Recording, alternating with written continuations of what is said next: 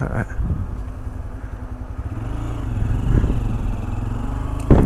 That guy goes, Is this considered a pit bike? And I go, No, I don't think so because I think a pit bike is not street legal. Well, this actually has a license plate. And he's like, Oh, oh wow, okay, you got a license plate. And I'm like, Yeah, I'm like, It's called the Honda Grom. And he's all, The what? I'm all, It's G R O M. It's really cheap, really slow, and really fun. What are you doing, dude? Don't cut me off. Yeah, don't cut me off. I'm not wearing gear. anyway, um, I wanted to make a video to encourage people to wear gear. So kind of stupid that I'm starting it off not wearing gear. But I'm like the rest of you guys. You know, I, I do stupid stuff. And uh, I don't know. I just, I don't want to hear about anyone getting messed up. So I want to make a video talking about why you should wear gear. And I got a really good idea from my neighbor the other day. And I was talking about it um, on the way up to the rock store the other day. But the whole first half of the video got used for a different video. So I had to refilm the start of the video. So here it is. I figured I would talk about a couple of words that I heard a long time ago. And the whole point of this is to gross you out and to make you think about wearing your gear next time you go and ride. And I actually squidded out the other day. I got home from work, I had all my gear on, and I rode home from work, and I got home and I took everything off and I was hanging out for a few, and I was working in the garage. It was hot out still, and I was like, you know what? I kind of want to go get a, uh, a drink. And so I threw on my gloves and my helmet, and I hopped back on this Super Duke here, and I just rode up to the store and grabbed a drink, threw it in my backpack, and then, you know, turned around and came back home. But it was so freaking scary, dude.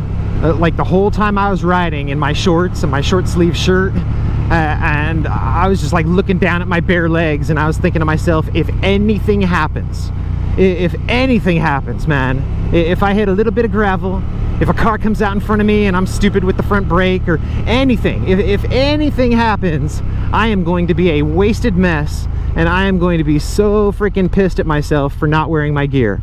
I got back home from the store and my neighbor was out like he had opened his garage door like in the time that I went down to the store and came back he had opened his garage door and he was like starting to wash his car and and I pull up and I'm just wearing like my shorts and my t-shirt and he goes he goes don't tell me you rode home from work like that.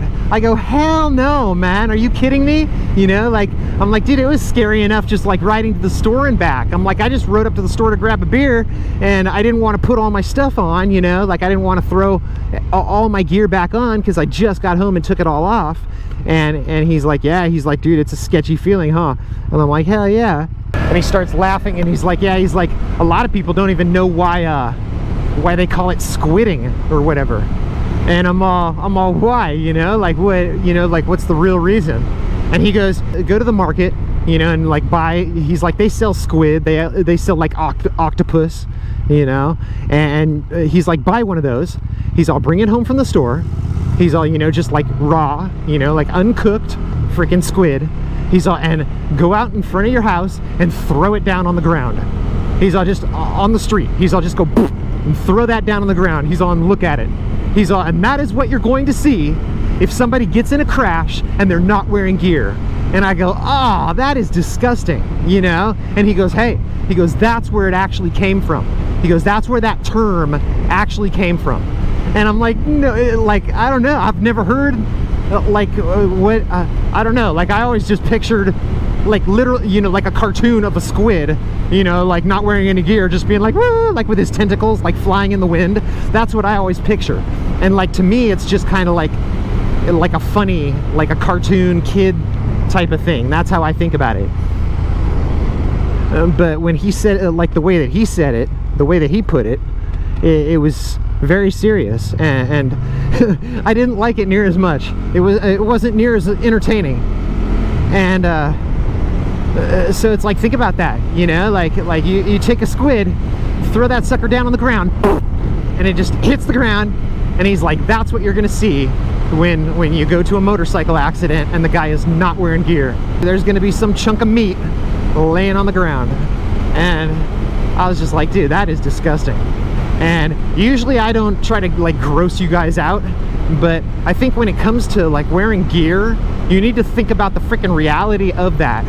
And I heard a term a long time ago, and it's it's two simple words. The word meat, You know, meat. meat. and the word crayon. Crayons.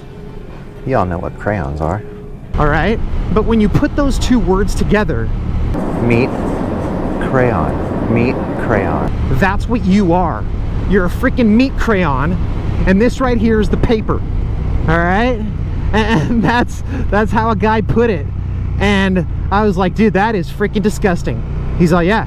He's all, think about someone just holding you and writing on the ground, and it, it just, you're a freaking meat crayon, dude. It, it has stuck in my mind. I don't talk about stuff like that. I mean, this is the first time I think I've made a video like talking about that or whatever. But uh, hopefully it is i don't try to gross people out you know but i think that in order to to make a strong enough point with this uh, i think i kind of want to gross you guys out. A lot of people would be like oh well gear's not going to pr- protect you from like a broken bone or whatever. It's like no uh, you know like like having a jacket on is not going to keep you from breaking your arm you know? Like having a glove on is not going to keep you from breaking your wrist you know something like that. But at the same time if you just slide down the road, you're not going to get ground down to the bone and need surgery after surgery of skin grafts to, to fix you. Like in the circumstance that you don't break a bone, it's going to save everything else. So wear your gear. Don't turn into a squid.